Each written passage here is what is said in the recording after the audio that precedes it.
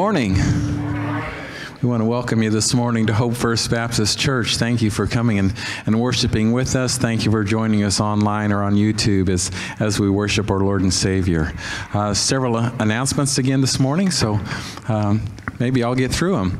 Uh, first of all, thank you uh, to anyone that in all that, that came last night to the, the hog roast, not the hog roast, the bonfire, hayride. I knew there was an H in it somewhere.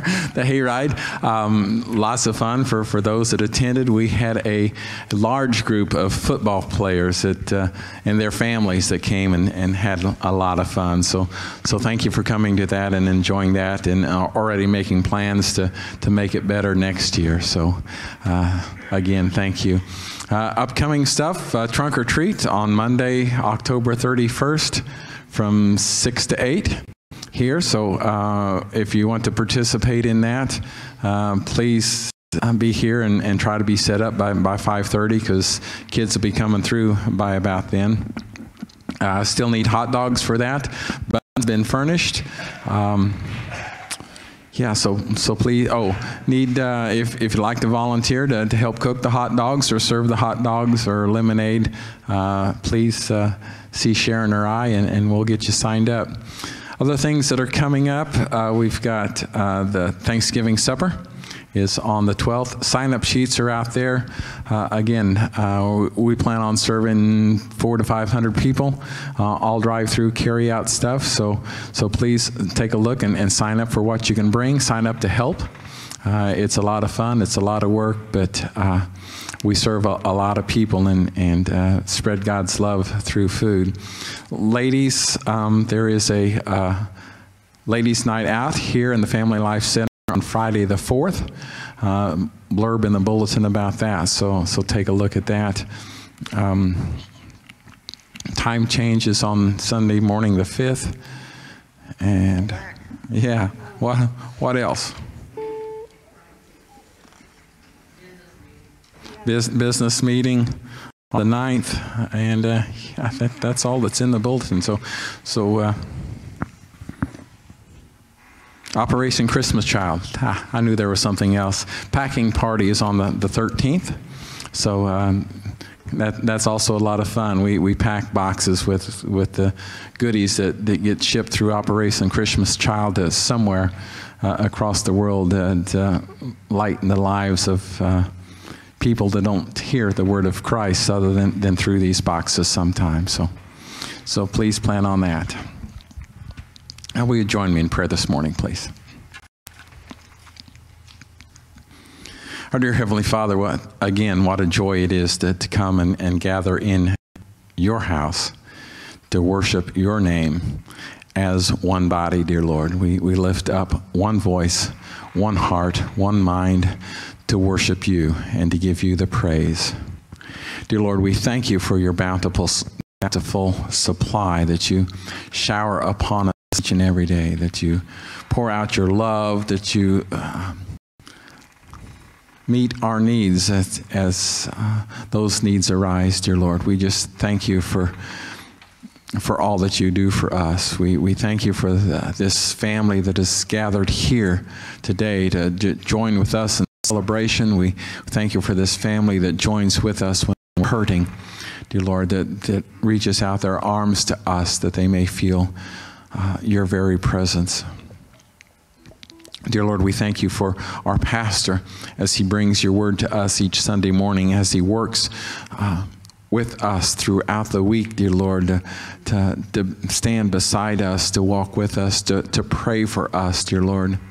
We thank you for him and for his family who, who work by his side, dear Lord, that uh, we ask that uh, you would protect them, put hedge around them and their family, uh, that they may continue to do your work here in the church in this, and in this community, dear Lord. We, we thank you, dear Lord, for uh, safety that you've given uh, to this church family as they travel. Uh, we, we thank you that uh, people have returned home safely. Dear Lord, we, we thank you that uh, you, you answer our prayers sometimes without even uh, being uttered unto you. You know what's in our heart. dear Lord, and we thank you for that. We do want to pray this morning for, for those that are suffering, those that are going through sicknesses, dear Lord. We, we pray for Missy this morning as she started her, her six weeks of uh, radiation. We just pray, dear Lord, that through your hand, by your hand, she would be healed. We pray for others that. Uh, that may be going through health situations, dear Lord, that you would touch their bodies. We pray for uh, Troy and for his family, dear Lord, at the, at the, the death of daughter. We just ask that uh, you would wrap them in your arms of love, that they may feel your comfort, your compassion. Uh, through this time of struggle, we, we pray for Jim Baker this morning that, that uh, his health situations, that you would touch his body. Dear Lord, we just lift all of these prayers up to you, even those that are unmentioned, those that are buried deep within our hearts, that, that you know what those prayers are. We just give you the praise and the honor and the glory for answering these prayers, dear Lord. We pray all this in your Son's precious and holy name. Amen. I learned a new word this week. The word is wabi sabi. It's W A B I S A B Y. It's a Japanese word.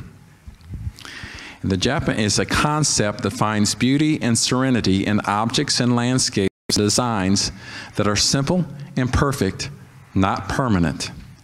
It delights the tarnish of ancient silver bowls and old, uneven cobblestones. It's a mindset or a way of life that finds beauty and joy in things that are broken and imperfect. It stems from the realization that nothing in this world is complete or perfect. The art form of kintsugi, which is an art form where the Japanese take gold dust and mingle it with glue and glues back ceramic bowls, plates, vases that have been broken to make them an, uh, an object of beauty. So Japanese, you know, take honor and joy in finding the imperfect and seeing the beauty in the imperfect things. And then James chapter 1, we read, Count it all joy, my brothers, you meet trials of various kinds, for you know that testing of your faith produces steadfastness. And let the steadfast have its full effect, that you may be made perfect and complete lacking in nothing. Will you join with us this morning as we raise our hearts and voices in song?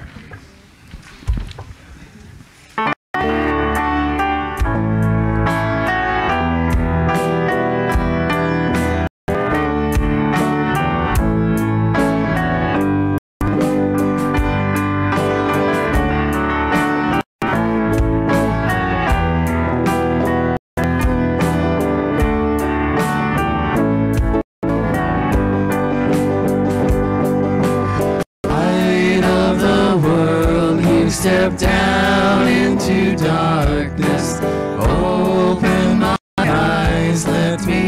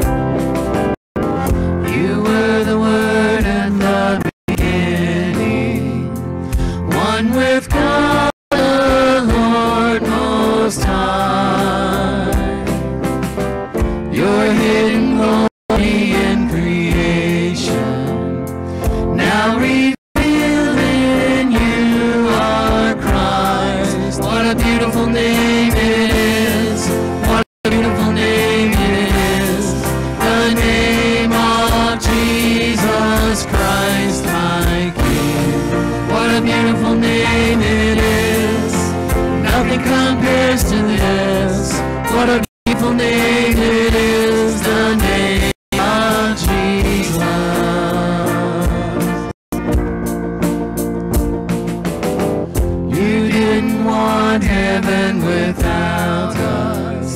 So Jesus, you brought heaven down.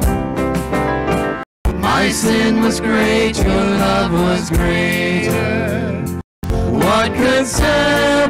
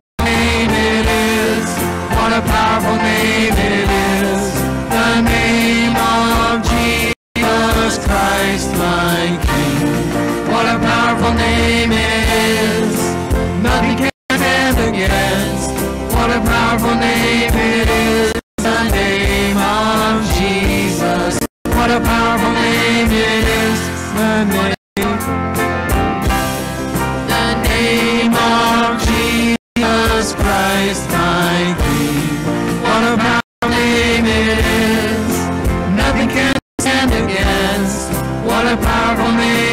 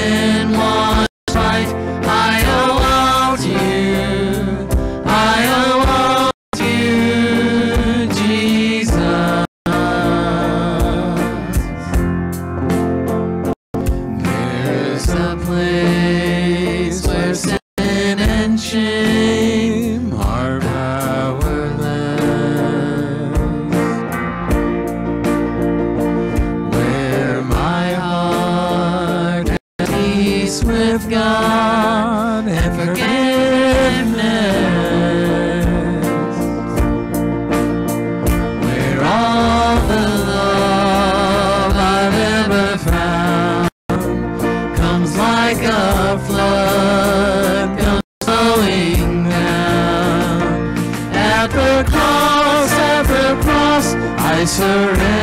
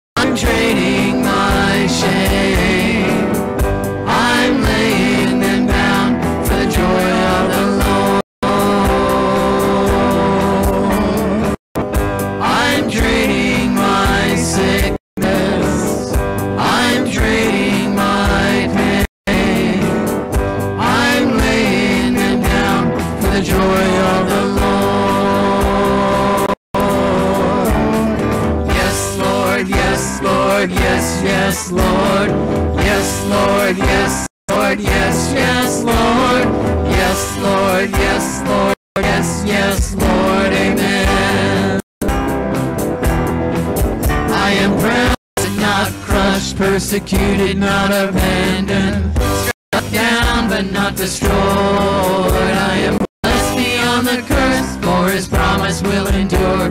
His joy's gonna be my strength.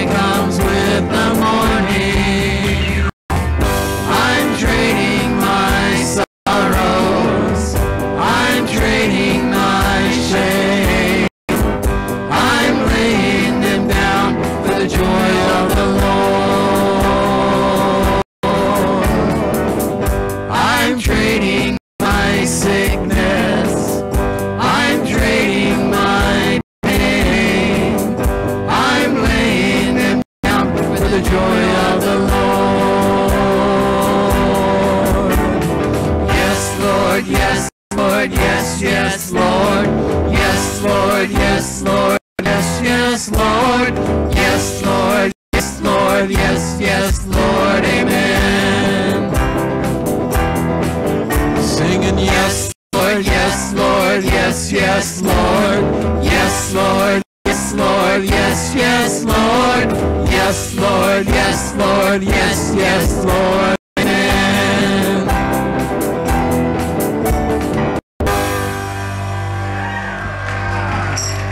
Please be seated.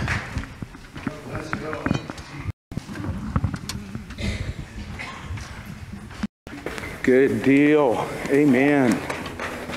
I want to honor the worship team and thank them. We appreciate them, appreciate their work. Uh, I want to give you guys a great caution.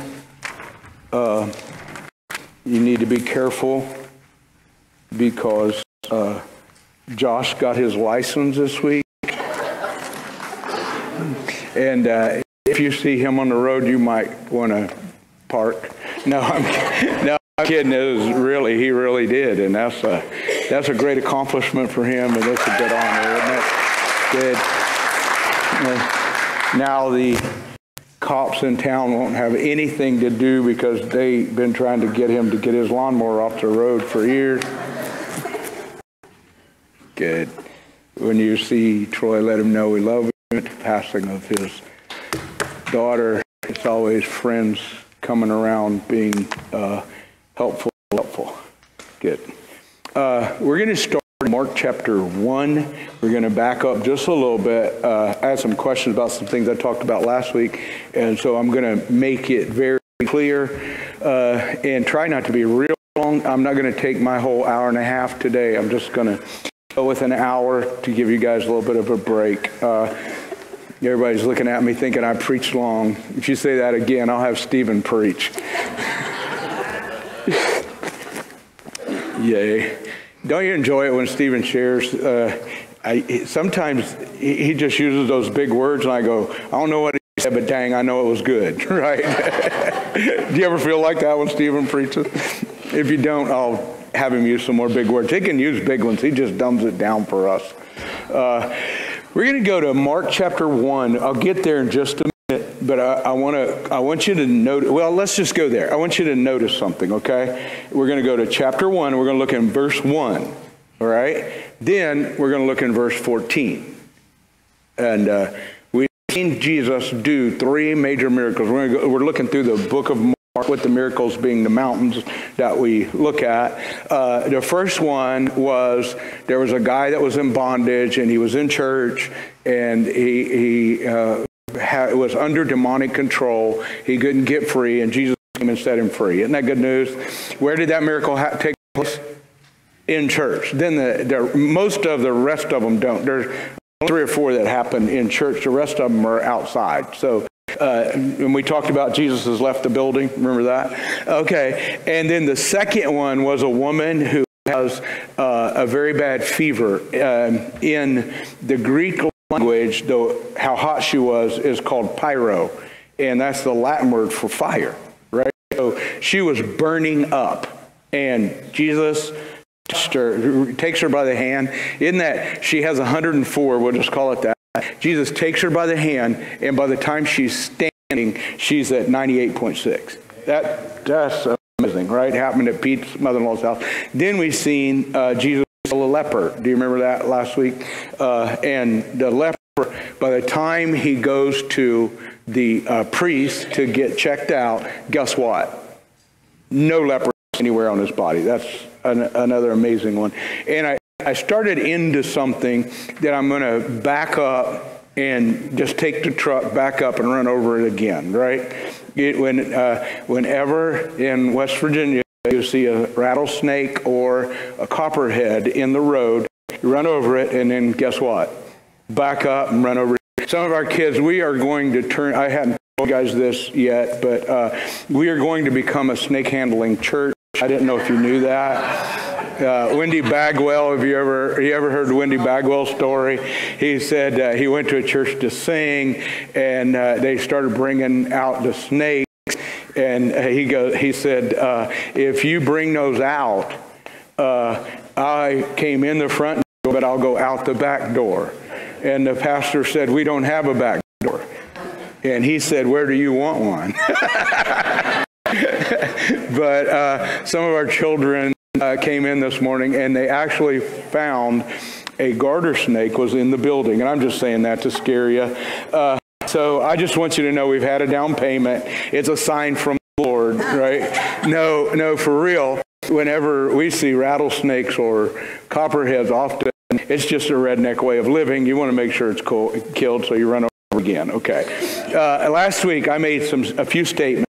People have asked questions, and so I'm going to come back and run over it again. And here's the major thing we're going to think about is this: Did did you add Jesus to your story? Or did Jesus add you to his? That, that was a thing that I brought up. Uh, we kind of thought about, but I, I, I want to take that thought just a little bit deeper. And this morning, here's what I'm going to talk about. There is an unstoppable story that Jesus brought to the earth. It's called the gospel. We could call it the gospel. We could call it the testimony of Christ. But it is unstoppable and it is going to accomplish all that it has meant to accomplish. Okay? And so we're going to talk about the unstoppable story, but I want to I want to want us to kind of think through something just for a minute, okay? And here's the idea. Did I add Jesus to my story or did Jesus add me to his? Okay? And uh, uh in a minute I'll go deeper into this, but here's going to be the question. Is Jesus your advisor? And sometimes, here's how we think about the gospel. I'm going to say a prayer. When I say the prayer, it gives me some hell insurance. Anybody like hell insurance? I like hell insurance. Mine's paid for. Not going there, right? Okay, so I say a prayer. I get what? Hell insurance. And then I go to the Bible so Jesus can be my moral advisor on how to live my life. Right? Isn't that kind of like the gospel we hear? Is that right? And if I don't like his advice, guess what? Come on. If I don't like Jesus' advice, guess what? I don't take it. I do what I want to do, but I still have my hell insurance policy in my back pocket, right? It's the gospel, isn't it? You guys are looking at me real funny. Am I not? You got anybody awake? If you're awake, just raise your hand so I know you're awake. Uh, is that kind of the gospel that's told? Isn't it? I pray the prayer, and I'll invite you guys, come on down, and anybody wants to accept Jesus into their life, come, and what's the prayer I pray? Tell me what I pray. Anybody know what the sinner's prayer is? We won't be able to say it, we don't even know what it is. What's the sinner's prayer? That's any prayer said by a sinner. What's the sinner's prayer? Uh, Lord Jesus, forgive me of my sins, come into my life, into my heart, and be my Savior. Now, watch this. And now, I have, when I prayed that prayer, I've added Jesus to my life. Right? Now, right? I mean? And now I go about my life reading the Bible, getting moral advice on how I should live. Good? You guys are looking at me weird like you've never been in church before. You know I'm telling you the truth, right? Now, now watch. Now, but I can have other advisors also. Some people would take Oprah. She's a good advisor. Uh, Brene Brown. I love Brene Brown. If you haven't read her books, you need to read her books uh, so, uh, about how to deal with rejection in life. And she is a social uh, scientist that has amazing stuff. Okay? And then, who else would be? Jerry Springer? If you haven't watched a good Jerry Springer in a while, you just get some Kool-Aid and sit down in front of the TV and have a good time. Okay? Right? Who else? Dr. Phil. Huh? How's that working for you, Dr. Phil? Huh? Right? And so watch, I have added Jesus to my life. I'm on my way to heaven.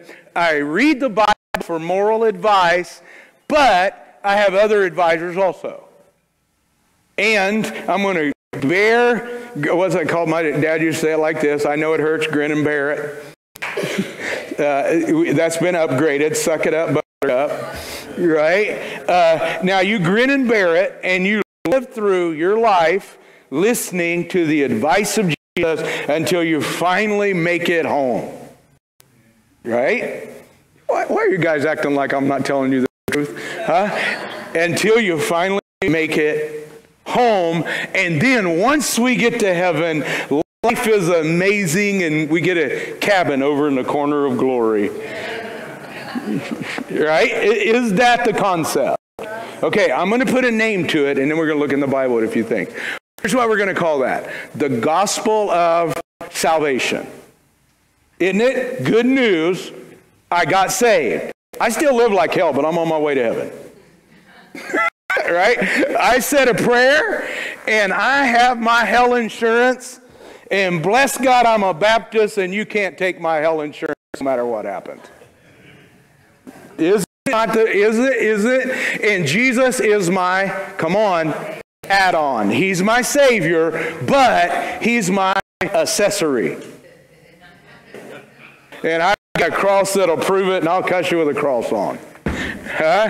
Anybody? I love this one. Uh, I've actually seen this happen. I've been part of it. It was on the road. Guy had a honk. If you love Jesus, bumper stick. He's probably driving his girlfriend's car, and uh, and I honked, and he gave me half the peace sign. and I thought this is amazing. So remember the 70s, Jesus is number one. So I just complete the peace sign for him. Jesus is number one. Uh, Jesus is my add-on or he's my accessory. Wait, wait a minute. Jesus is my Savior. In the gospel of salvation, and I'm not saying that's wrong. You guys are looking at me like you're not going to answer questions because I'm going to tell you you're wrong. I'm not saying that's wrong. I'm saying it's not enough. Uh, okay? But in the gospel of salvation, Jesus is my Savior.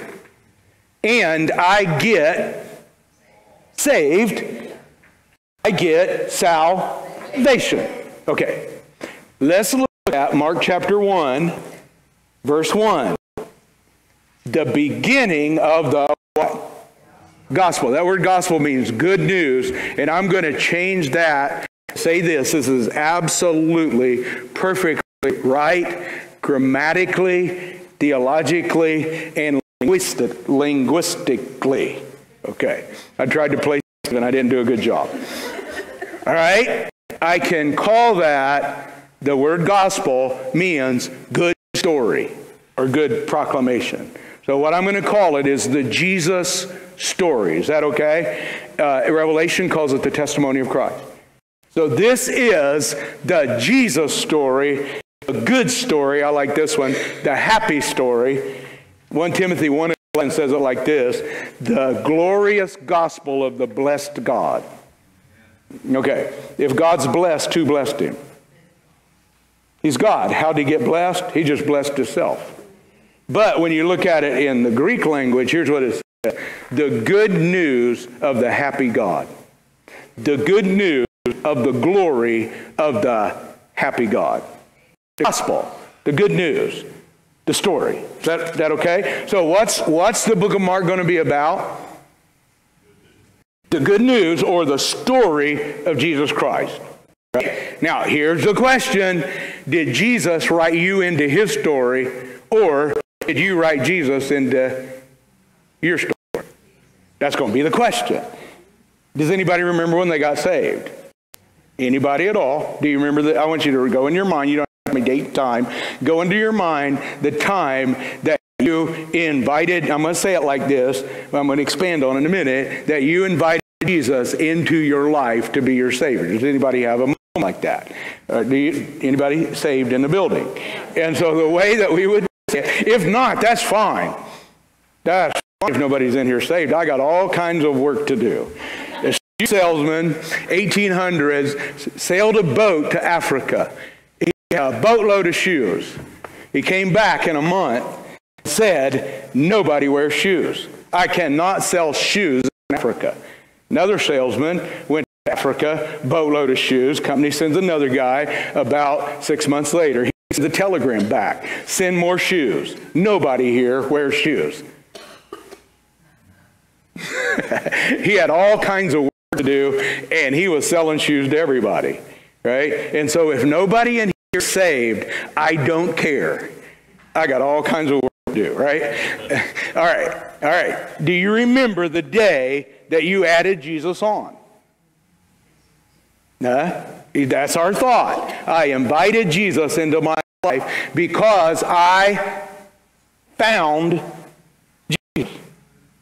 Anybody ever heard that in church? You need to find Jesus. I church that says it. Somebody bought it for me. They were an unbeliever. They said, You talk about Jesus all the time. I was in Walmart and I saw a shirt that said, I need Jesus. Anybody ever seen the shirt at Walmart? And he, I had a lost person give me a present because he thought I talked too much about Jesus. And I go, yay, thank you. I'll wear your shirt. Right? Okay, here's what happened. You invited Jesus into your story.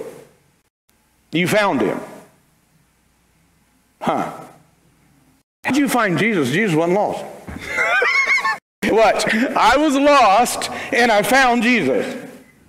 Wait a minute. you just mixed your metaphors all over the place right here, right? You went from being saved to being a savior. You found, uh, you too, Bono, I haven't found what I've been looking for. Still haven't found what I've been looking for, right? People don't know Bono had experience. He came to Christ, and he has actually said publicly, I finally found what I've always been looking for. Mm-hmm. And I go, great. I'm not going to fight that. Yeah, Bono found Jesus. Hmm. Which one was lost? Found whom? Zacchaeus climbed a tree to find Jesus. Jesus planted a tree so he could be up it. does that make does that make some manner of sense? Okay, so it is the good news. Now, watch. I'm going way too long on this. Is, is it okay? You guys kind of catching on? Turn to 114 just for a minute. Mark 114. We'll have it in the big Bible. Okay? Now, John was put in prison. Jesus came to Galilee preaching. Go ahead, go ahead and read it. Somebody read it really loud. What did it say? Preaching the gospel of the. Now, wait a minute. And I please want you to hear me just for a second, and I'll make a disclaimer. Jesus never preached the gospel of salvation. Jesus preached the gospel of the kingdom. Hmm? We can turn to Mark 24 14. Go ahead. Go ahead. Go ahead. We'll come back to this one, but I gave you Mark 24, or I'm sorry, Matthew 24 14. Mark only has 16. She cannot find Mark 24 anywhere unless she made it up. And then she was doomed to hell forever because you're not allowed to make up. All right, watch this. 24 14, read this, this is Matthew 24 14. And the gospel of the kingdom will be preached in all the world as a witness to all the nations, and then the end will come. Do you know Jesus is not coming back no matter what any chart says or any preacher on TV I'm going to stand here and I'll be here next week. I made a guy really mad in 1988 because it was why Jesus was coming back in 1988 and they gave a date and a guy in a bookstore tried to sell me one of them. What was it? September 21st, whatever it was. And I go, I'll be back September 22nd and they will all be half price. because what they said, Jesus coming back on this day and he went and he figured it out. And here's what I'm going to tell you. Until the gospel of the kingdom is preached in every nation of the earth with the power of the kingdom backing it up, Jesus is not coming back. Everybody goes, I want him to come back tomorrow. Then go get those places. Does that make some manner of sense? You guys are still on me. Does that make some manner of sense? What is it that is going to every corner of the earth? The gospel of the kingdom, now watch, the gospel of the kingdom is an unstoppable story that can never be stopped and it can never be conquered. Watch. The gospel of the kingdom came into the earth under the Roman Empire. The Roman Empire was significant, and the gospel of the kingdom was what?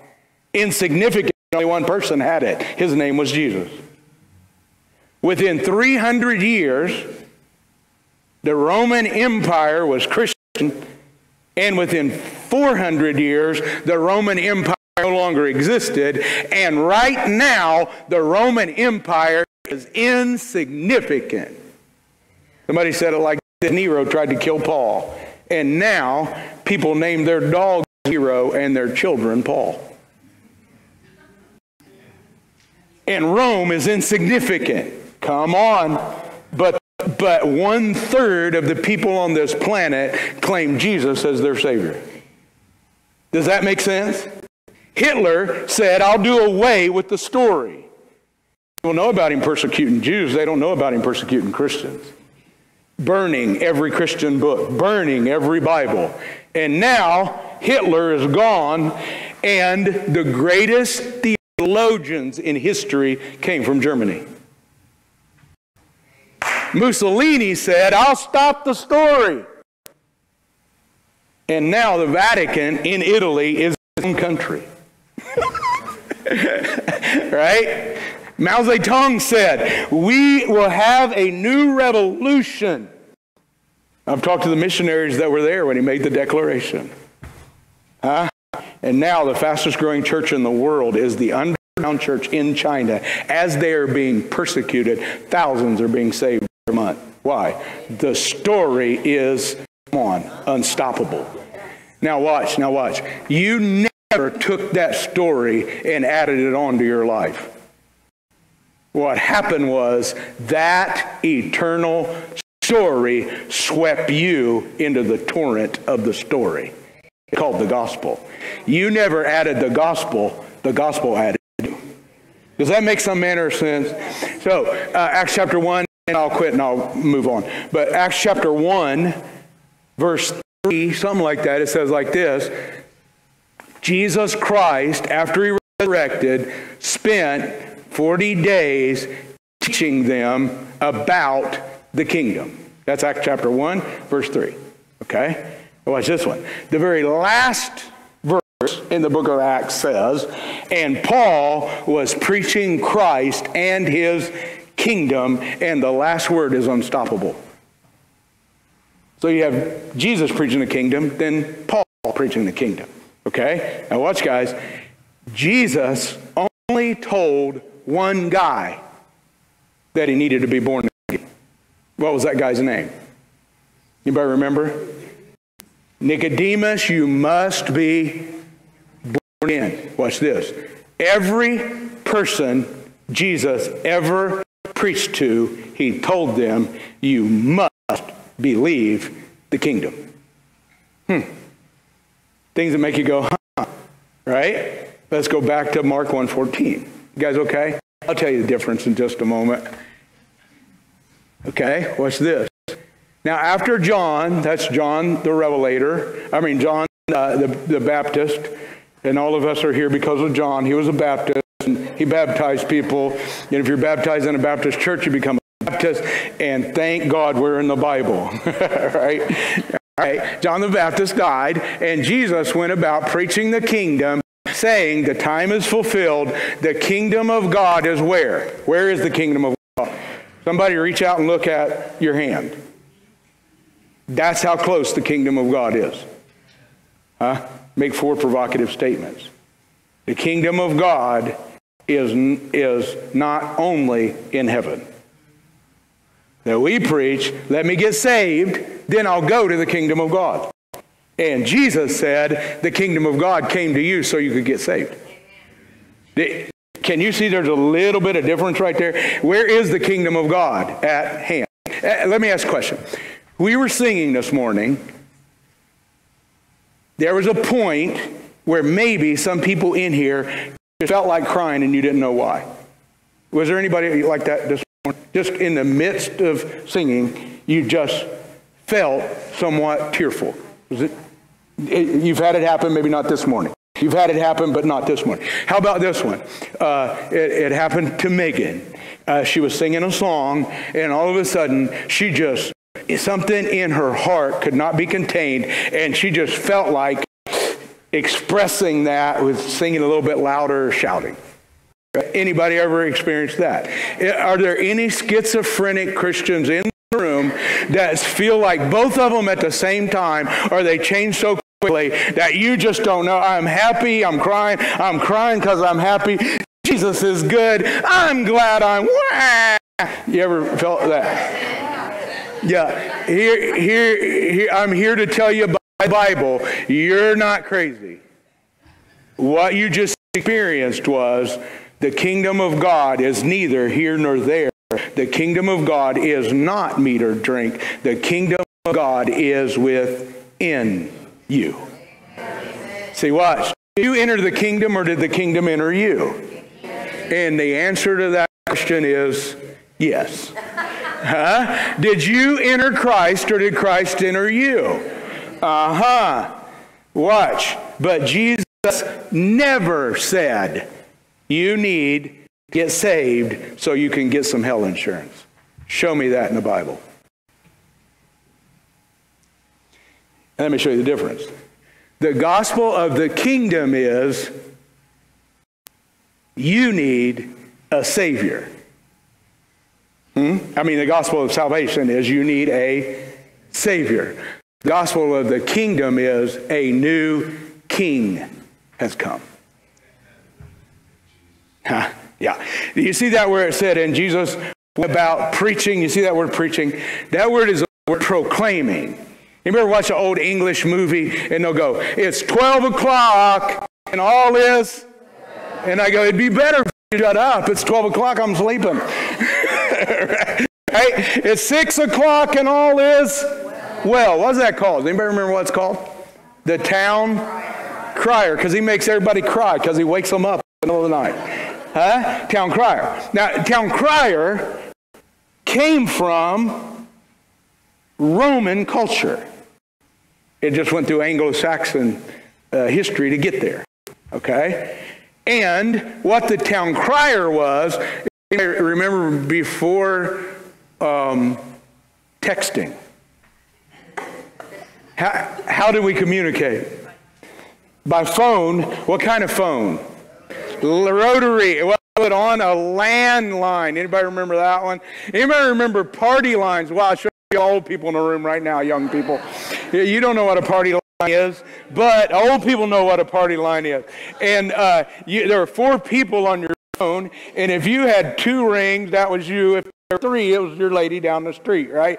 And every time you're trying to talk to your girlfriend and you pick it up, you hear a click, and you just know. And the reason everybody know all your business is because they listen to your phone calls, landline, right? Huh? Uh, but before even landlines, here's what would happen. A king would make, it's called an edict. He adjusted a rule. There was a rule, there was a law, and then a king adjusted a law. That makes sense? But he's way over there 100 miles away, 1,000 miles away, 500 miles away. How do you get Indianapolis to Hope, Indiana? The king's living in Indianapolis. And he makes, give me a date. What's today? Is it 23rd? 23rd. He makes an edict on the 23rd. When did it become law? On the 23rd. How long is it before Hope gets the news? The 23rd next year, right? Right, right. Is it still the law in Hope? But do we know it? Why? Ah, we haven't heard it. So here's what would happen that eventually became the town crier that was associated with defense by saying, It's four o'clock, the enemy's coming, get your musket. 12 o'clock meant people could sleep. But if the watchman saw an enemy, then the town crier could say, It ain't good. Get your knives and forks. Bad guys are coming. Right? Does that make sense?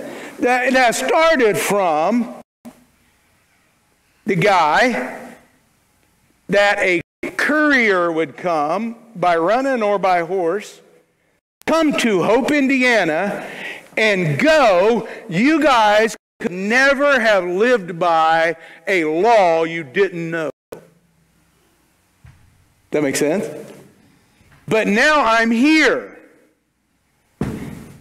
It's the 23rd October. As of right now, your wife has to go to Debbie and get pies from Debbie.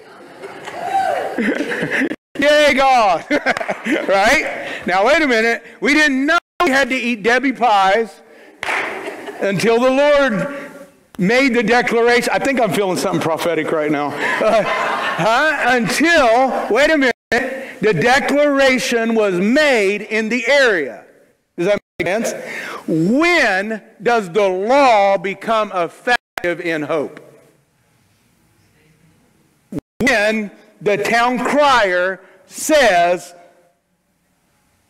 Debbie's going to make pies for everybody, okay? When on the 23rd at It'll be three when I get done, so we'll say three o'clock. Okay? Now it becomes, that's the word preach in the Greek language. It means it is activated when it's proclaimed. Uh-oh, wait a minute. That is very deep. It is activated proclaimed. The Bible says Jesus came activating by proclaiming the kingdom is here. That's what he said. It is here right now. Now, is he a savior? Yes. But is he more than a savior? Yes. In the gospel of salvation, and here's the way we have mostly preached it. Vicky, you're lost, and you need saved. And when you get saved, Jesus will take you to heaven. Say it, say it. When you die. And when I preach to Vicky, I come up to her and I go, Vicky, if you were to die tonight, where would you go? What is the gospel of salvation about? What's it really about? It's about you dying. And when you die, you don't want to go to. How many people say, yes, that's true? It's right there in the Bible. Don't want to die? I do not want to die and go to hell. I want to go to heaven. Right? In order to go to heaven, what do I need? I need a Savior, Jesus. There's only one. No other name given among men whereby we must be saved except Jesus Christ. Is that not true? Now, wait a minute. And then we tell people, add Jesus onto your life. Be sure you read your Bible. You got to pray because now you're going to take advice from Jesus on how to live your life. Hmm? That's all good news. But please hear me. That's not enough news. The gospel of the kingdom is not you need a savior.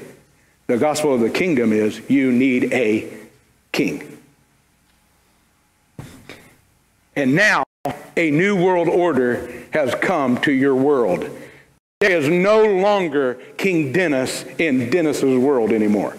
When Dennis gets baptized, he says to the world, Dennis died, and now his story is over.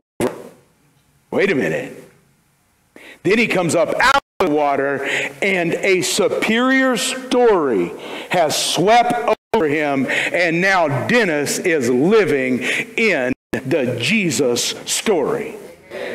And whenever the Jesus story through Dennis, over Dennis, in Dennis is told, the Jesus story has the potential to sweep others along also. Isn't that a little bit different? Okay, now hear me. Is Jesus your advisor? Or are you his ambassador? Two things. When I'm an ambassador, and I've met ambassadors before in foreign countries, when I'm an ambassador, I am the representation of another kingdom. I was in a country called Burundi in East Africa, and fighting broke out. You could hear 50 caliber machine guns at night with rebel troops are fighting uh, governmental troops. And the emails that they sent us were, get the American embassy. Why do I need to get to the American embassy? Huh? Why would I be safe? Come on, why would I be safe in the American embassy? I never made it, and the fighting got over before we got and I never really knew much about it until I got back. It really wasn't that big a deal, but it seemed like it. It's a good story on Sunday morning because it looks like I'm in the trenches for the gospel, right? Huh? Why do I want to get to the American embassy? Huh? Because in that embassy, what's it called? Go ahead and tell them. What's it called? Inside that embassy, even it's in Burundi, that's American soil. American soldiers, I don't want to get political, but American soldiers should protect you in that place. Isn't it right? Come on now. God's never not going to show up. Come on. And I am now an ambassador of Christ's kingdom. And what that means is I'm carrying the Jesus story. The Jesus story done got me. It's affecting me. And now, now you remember Jesus would heal somebody. What would happen in the in our continuum so far? What would happen? Jesus would heal somebody. Go ahead, Tom. What would happen? They would tell it. Then other people would come, and what would happen to them? They would get healed. Then others would come. Then they would get healed. Then others would come. And it says, even, Jesus said, guys, I need a break. I'm going out in the woods. And when he got out in the woods, here they come in trucks and four wheelers, right? And they just found him in the woods, uh, right? And what happened when they find him in the woods? Well, what happened? It's right there in Mark. He would all them too. Then they would go tell more. Why? Why? Were they adding Jesus onto their story? Or was the Jesus story that is unstoppable now sweeping through their life also? Their generation also. Okay, let me say it like this God has a story for you. And here's the story He wants to take you out of your own story where you're your own king and puts you in his story where he's your king. What that means is you don't even have to fight your own battles. Just get to the embassy. you don't have to come up with your own resources. Get to the embassy. And now his story comes to confront every other story and overcome it. Because your story will say you're rejected. Your story will say you're not liked. Your story will say you're broken. And what he'll do is come with his story and go, no, you're accepted. Come on. You're fixed. Ah, you're in bondage. I can't get out of it. And he goes, no, I'm here now. This story is bigger than that story. My story is about the superior every other story. My, my, my help is about to overcome every hurt. I'm about to turn sorrows into dance joy. I can make your worst day your best day. Come on. I know that you are trying to grin and bear it, but how about if I just gave you your joy? And how, how would you like to live like this? I'm trying to grin and bear it. I'm trying to, I'm trying to hold it in. It's about to get out. Which way's better? Uh, she, she just said that. Yeah, you just said two stupid things. Second stupid thing. That's the one I want. Huh? What's the difference? What's the difference? In one, I have a Savior. And in the other, I have a king. Hmm. In the second one, his world has invaded this world, and his story is conquering every other story. Now, watch. Forget. In order to get to his story, I step out of my story into his. Huh. And the way I do that is a surrender to a superior king. That's the way I've been trying to do it I don't even know how to do it. I turn it over to you. Isn't that good news?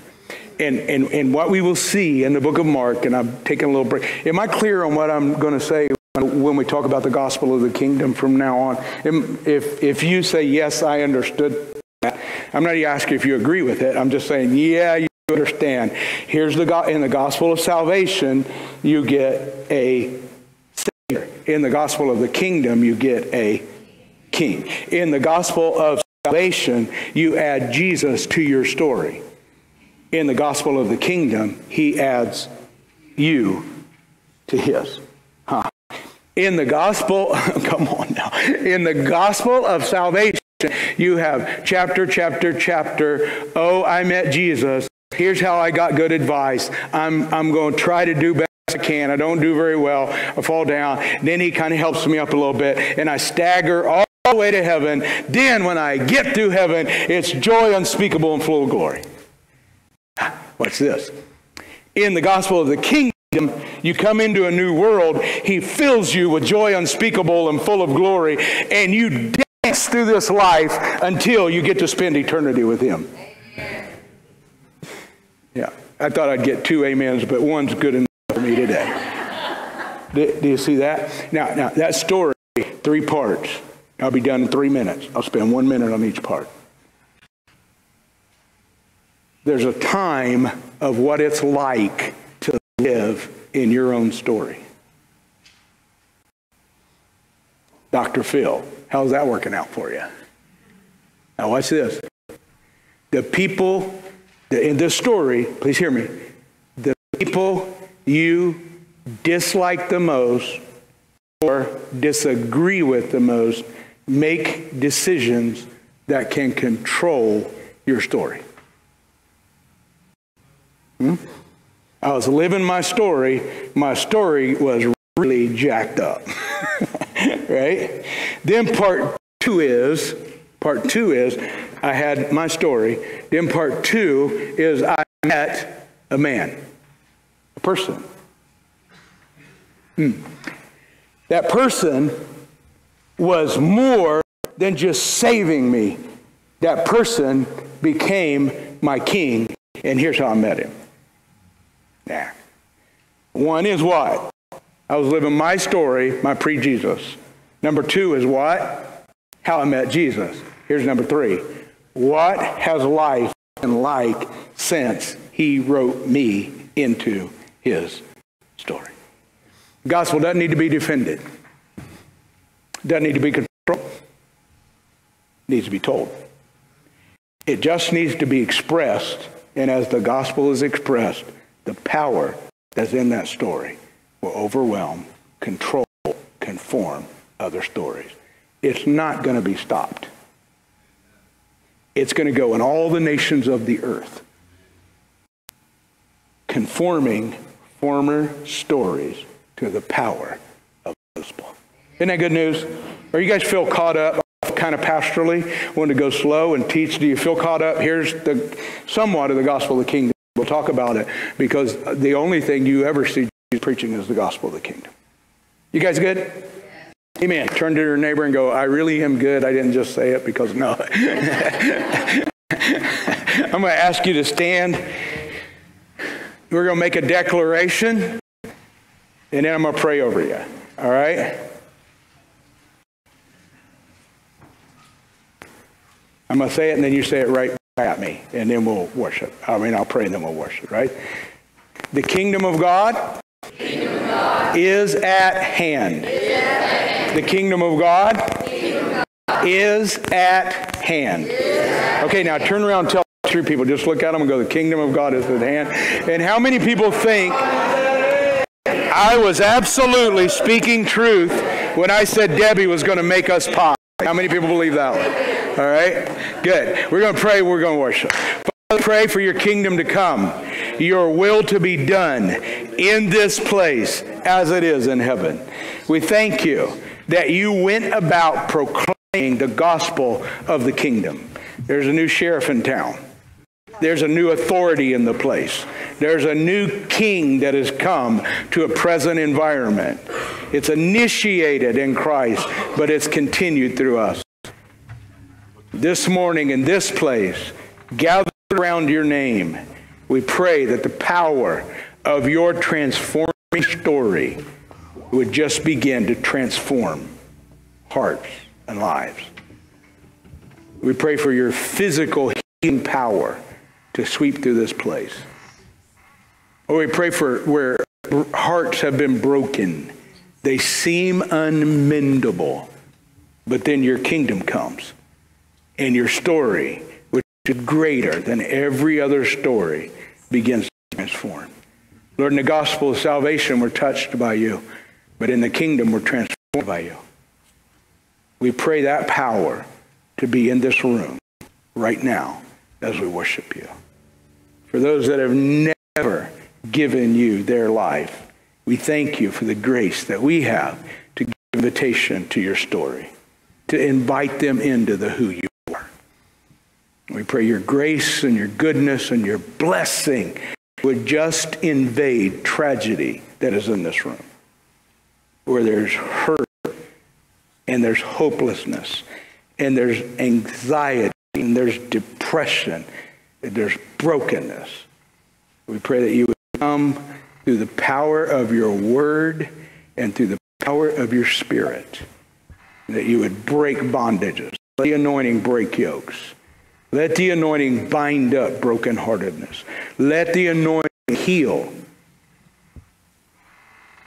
minds that are full of thoughts of hurt as you release grace and help and your story transforms ours. It's in Jesus' name we pray. Amen.